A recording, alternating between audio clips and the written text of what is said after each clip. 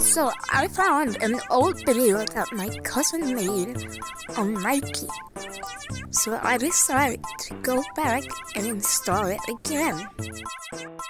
As I was stalking my cousin's account, guess what I found?